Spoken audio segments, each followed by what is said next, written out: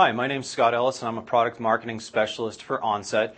Today we're going to take a look at our U12 temperature, relative humidity, light, and external logger. It's part number U12-012.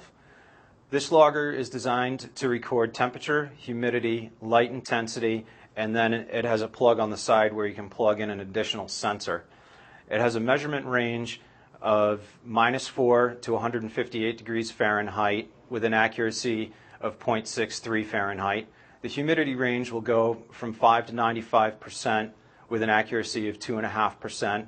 The light range will record up to 3,000 foot candles.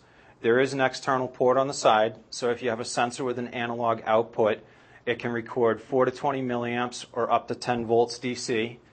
A lot of times people use this with some of our standard sensors, such as the Telaire CO2 sensor.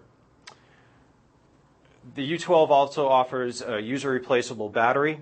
It gets unscrewed in the back. It's a CR2032 lithium battery. It has the ability to store 43,000 measurements, where if you're recording at a 15 minute sampling rate on all four channels, it'll record for 113 days. You do have the ability through the HoboWare software to turn off certain channels to maximize your memory. Uh, there is a USB port right here on the bottom. Uh, you can download uh, to HoboWare Pro for Macintosh and Windows. That takes about 30 seconds. Or you can download to what we call our Hobo Data Shuttle, which is part number U-DT-1. And as always, the Hobos are made and designed in Bourne, Massachusetts on Cape Cod.